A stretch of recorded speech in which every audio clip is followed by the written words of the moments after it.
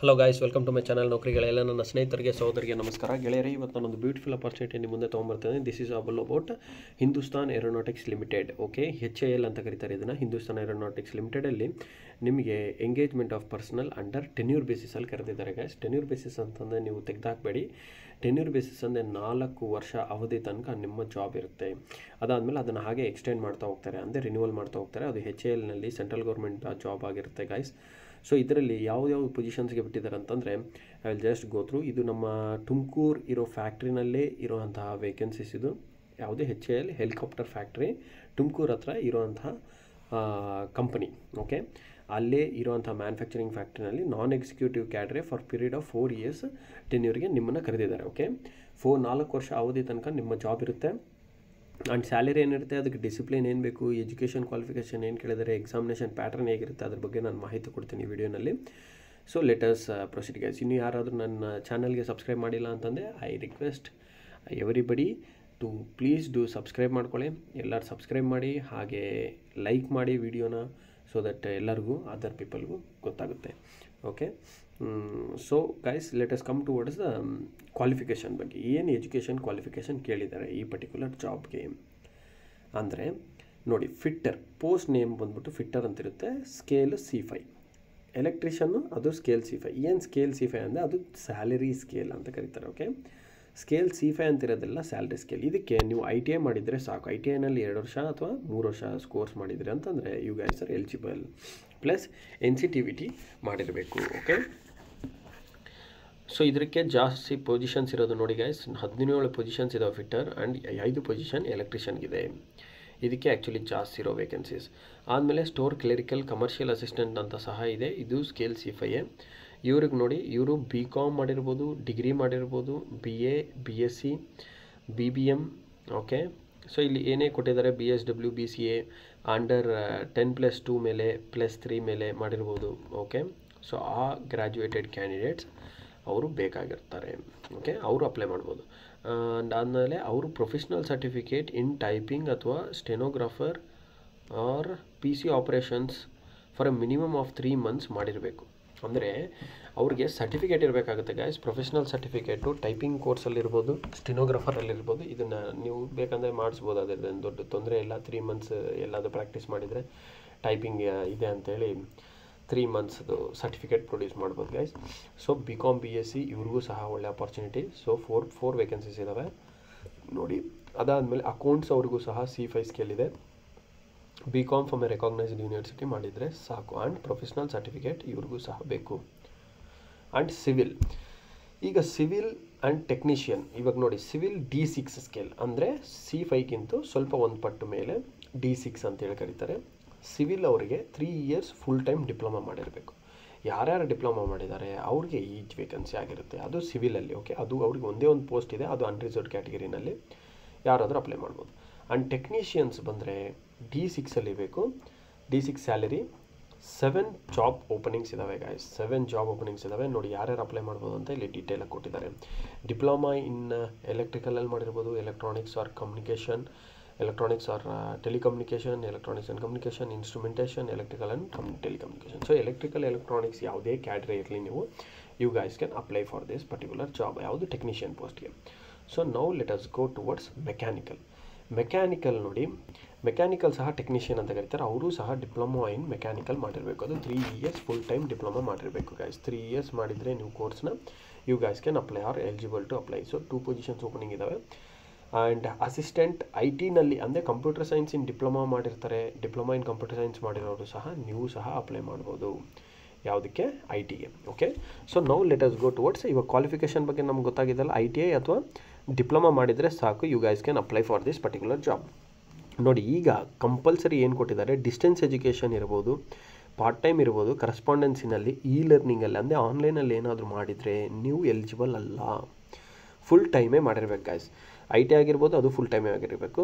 Diploma ಆಗಿರ್ಬೋದು, ಅವರು full time ಆಗಿರಬೇಕು. B B A B com degree ಏನೇ ಇದ್ದರೂ ಸಹ ಫುಲ್ ಟೈಮ್ ಆಗಿರಬೇಕು. ಅದಾದಮೇಲೆ ಯಾರಾದರೂ ಇವಾಗ ಐ ಟಿ ಎ ಮಾಡಿರ್ತಾರೆ ಪ್ಲಸ್ ಡಿಪ್ಲೊಮಾ ಮಾಡಿರ್ತಾರೆ, ಮತ್ತು ಇಂಜಿನಿಯರಿಂಗ್ ಮಾಡಿರ್ತಾರೆ ಅಂದ್ಕೊಳ್ಳಿ ಆ ಇಲ್ಲಿ ಕೊಟ್ಟಿರೋ ಡಿಪ್ಲೊಮಾ ಮೇಲೆ ಪಟ್ಟು ಯಾವುದೇ ಅದರ್ ಕ್ವಾಲಿಫಿಕೇಷನ್ಸ್ ಅಥವಾ ಬಿ ಕಾಮ್ ಅಂತ ಕೊಟ್ಟಿದ್ದಾನೆ ಬಿ ಕಾಮ್ ಅಷ್ಟೇ. ಬಿ ಕಾಮ್ ಮೇಲೆ ಎಂ ಕಾಮ್ ಮಾಡಿದರೆ you guys are not eligible ಇದು ಕ್ಲಿಯರಾಗಿ ಕೊಟ್ಟಿದ್ದಾರೆ ಈ ಸ್ಟೇಟ್ಮೆಂಟು ಸೆಕೆಂಡ್ ಪಾಯಿಂಟಲ್ಲಿ ಯಾರೇ ಆಗಲಿ ಹೈಯರ್ ಕ್ವಾಲಿಫಿಕೇಷನ್ ಮಾಡಿದ್ದೀರಾ ಅಂತಂದರೆ ಈ ಪಾಯಿಂಟಿನ ಮೀನಿಂಗ್ ಅದೇ.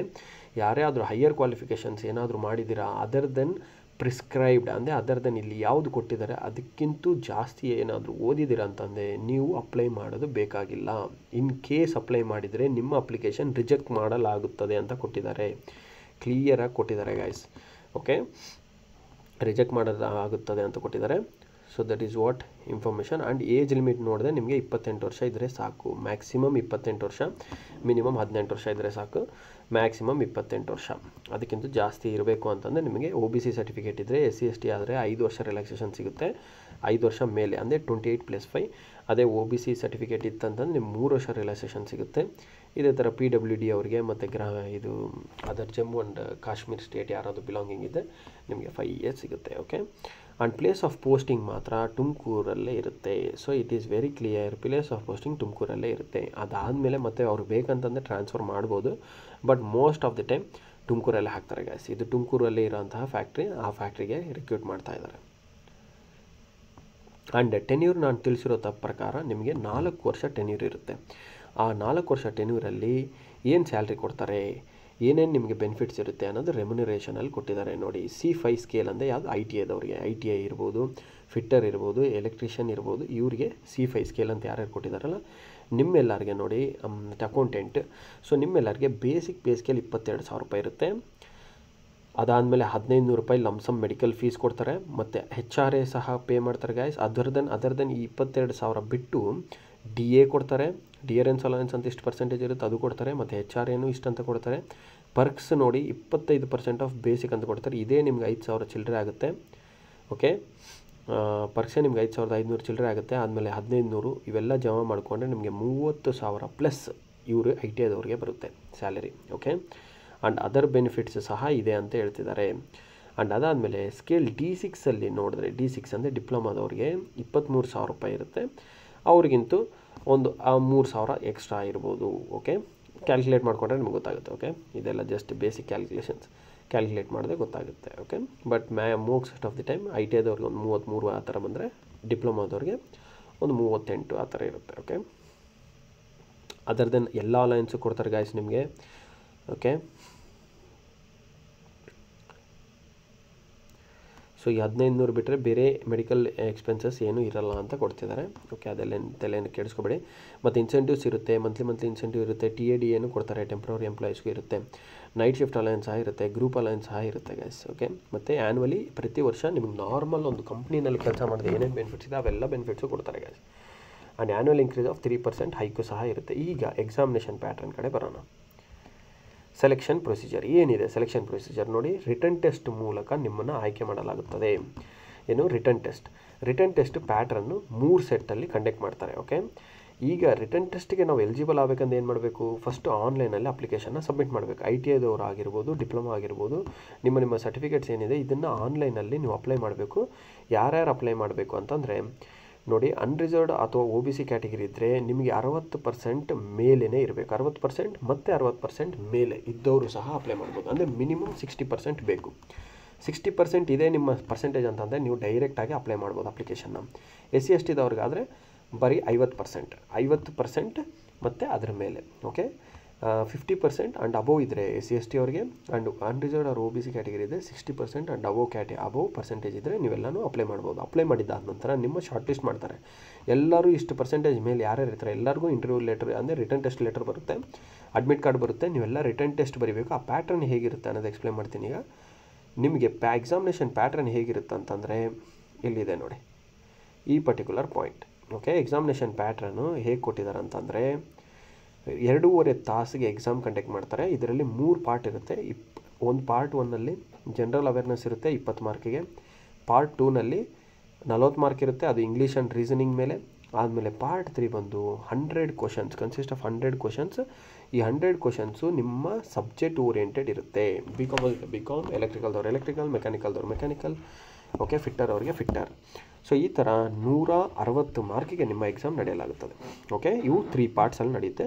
ನೆಗೆಟಿವ್ ಮಾರ್ಕಿಂಗ್ ಇರಲ್ಲ, ಪ್ರತಿ ಮಾ, ಪ್ರತಿ ಒಂದು ಕ್ವಶನ್ಗೆ ಒಂದು ಮಾರ್ಕ್ ಇರುತ್ತೆ. ಓಕೆ ಸೊ ನೂರ ನಲ್ವತ್ತು ಮಾರ್ಕಿಗೆ ನೀವು ಎಕ್ಸಾಮ್ನ ಬರಿತೀರಿ ಗಾಯ್ಸ್ ಓಕೆ, ಅದ್ರ ಬೇಸ್ ಇಂಟರ್ವ್ಯೂ ರಿಟರ್ನ್ ಟೆಸ್ಟ್ ಆಗಿದ್ದಾದಮೇಲೆ ರಿಟರ್ನ್ ಟೆಸ್ಟ್ ಮೇಲೆ ನಿಮ್ಮನ್ನ ಶಾರ್ಟ್ ಲಿಸ್ಟ್ ಮಾಡ್ತಾರೆ ಆ್ಯಂಡ್ ಹೆಚ್ ಎಲ್ ವೆಬ್ಸೈಟಲ್ಲೇ ನೀವು ನಿಮ್ಮ ಹಾಲ್ ಟಿಕೆಟ್ನ ಡೌನ್ಲೋಡ್ ಮಾಡಬೇಕಾಗುತ್ತೆ. ಅದ್ರ ಬೇಸ್ ಮೇಲೆ ನಿಮ್ಮನ್ನು ಶಾರ್ಟ್ ಲಿಸ್ಟ್ ಮಾಡ್ತಾರೆ. ಓಕೆ ಸೊ ಇಷ್ಟು ಈ ರಿಲೇಟೆಡ್ ಆಫ್ ಮೆಡಿಕಲ್ ಎಕ್ಸಾಮಿನೇಷನ್ ಸಹ ಇರುತ್ತೆ. ಅಂದರೆ ಸೆಲೆಕ್ಷನ್ ಆಗಿದ್ದವರು, ಯಾರ್ಯಾರು ಪ್ರಾವಿಷನಲ್ಲಿ ಸೆಲೆಕ್ಟ್ ಆಗ್ತಾರೆ ಅವರು ಮೆಡಿಕಲ್ ಟೆಸ್ಟ್ಗೂ ಸಹ ಹೋಗಿ ಬರಬೇಕಾಗುತ್ತೆ ಅವ್ರು ಕೊಟ್ಟಿರೋ ಪ್ರಕಾರನೇ ಮೆಡಿಕಲ್ ಟೆಸ್ಟ್ ಮಾಡಿಸ್ಬೇಕು. ಅದರೊಳಗೆ ಪಾಸ್ ಆಗಿದ ನಂತರ ಅವ್ರು ನಿಮ್ಮನ್ನು ಜಾಬ್ಗೆ ತಗೋತಾರೆ. ಓಕೆ ನಾಲ್ಕು ವರ್ಷ ಅವಧಿ ಗಾಯಸ್ ಇದೊಂದು ಬ್ಯೂಟಿಫುಲ್ ಆರ್ಗನೈಸೇಷನ್ ಸೆಂಟ್ರಲ್ ಗೌರ್ಮೆಂಟ್ ಅಂದಾದಮೇಲೆ ಕೆಲಸ ಹೇಗಿರುತ್ತೆ, ಅದ್ರ ಬಗ್ಗೆ ನಾನು ಕ್ವಶನ್ ಮಾಡೋದೇ ಬೇಕಾಗಿಲ್ಲ ಎಲ್ಲ ಕ್ವಾಲಿಟೇಟಿವ್ ವರ್ಕ್ ಇರುತ್ತೆ. ನೀವು ಈ ಎಕ್ಸ್ಪೀರಿಯೆನ್ಸ್ನ ಇಟ್ಕೊಂಡು ಬೇರೆ ಎಲ್ಲಾದರೂ ಹೋಗ್ಬೋದು. ಇಡೀ ಪ್ರಪಂಚದಲ್ಲಿ ನಮ್ಮ ಎಂಟೈರ್ ಇಂಡಿಯಾನಲ್ಲಿ ಅಥವಾ ಅಬ್ರಾಡ್ ಹೋಗೋರು ಸಹ ಹೋಗ್ಬೋದು. ಈ ಹೆಚ್ ಎಲ್ ಅನ್ನೋದು ಆ ಥರ ಒಳ್ಳೆ ಡಿಫೆನ್ಸ್ ಏರೋನಾಟಿಕ್ಸ್ ರಿಲೇಟೆಡ್ ಇರೋದ್ರಿಂದ ನೀವು ಫ್ಯಾಕ್ಟ್ರಿನಲ್ಲಿ ಕೆಲಸ ಮಾಡಿದ್ರೆ ಯಾವುದೇ ಥರ ಮ್ಯಾನುಫ್ಯಾಕ್ಚರಿಂಗ್ ಆರ್ಗನೈಸೇಷನ್ಸ್ಗೆ ಅದೇ ಫಸ್ಟ್ ಪ್ರಿಯಾರಿಟಿ ಕೊಡ್ತಾರೆ. ಈ ಎಕ್ಸ್ಪೀರಿಯನ್ಸ್ ಎಲ್ಲೂ ವೇಸ್ಟ್ ಆಗಲ್ಲ ನಿಮಗೆ. ಬ್ಯೂಟಿಫುಲ್ಲಾಗಿ ನಿಮ್ಮ ಲೈಫ್ನ ಕೆರಿಯರ್ನ ಬಿಲ್ಡ್ ಮಾಡ್ಕೋಬೋದು. ಸೊ ಇಪ್ಪತ್ನಾಲ್ಕನೇ ತಾರೀಕು ಲಾಸ್ಟ್ ಡೇಟ್ ಇದೆ. ಇದೇ ತಿಂಗಳು, ಅಂದರೆ ಸೆಪ್ಟೆಂಬರ್ ಇಪ್ಪತ್ನಾಲ್ಕನೇ ತಾರೀಕು ಲಾಸ್ಟ್ ಡೇಟ್ ಇದೆ. ಇವತ್ತು ತಾರೀಕು ಹನ್ನೆರಡು. ಸೊ ಬೇಗ ಅಪ್ಲೈ ಮಾಡ್ಕೊಳ್ಳಿ. Do not waste your time and ಈ ವಿಡಿಯೋ ನಿಮಗೆ ಲೈಕ್ ಆಗಿದ್ದರೆ ನಿಮಗೆ ಮಾಹಿತಿನ ಕೊಟ್ಟಿದ್ದರೆ ದಯಮಾಡಿ ಲೈಕ್ ಮಾಡಿ ಆ್ಯಂಡ್ ಶೇರ್ ಮಾಡಿ. ನಿಮ್ಮ ಗೆಳೆಯರ ಜೊತೆ ಶೇರ್ ಮಾಡಿ ಗಾಯ್ಸ್ ಓಕೆ ಇಷ್ಟು ಹೇಳ್ತಾ ನಾನು ನನ್ನ ವೀಡಿಯೋನ ಮುಗಿಸ್ತಾ ಇದ್ದೀನಿ. ಥ್ಯಾಂಕ್ ಯು ಗಾಯ್ಸ್ ಇನ್ನೇನಾದರೂ ಅಪ್ಡೇಟ್ಸ್ ಬಂದರೆ I will definitely post a video okay thank you for watching my video and I wish you all the best thanks once again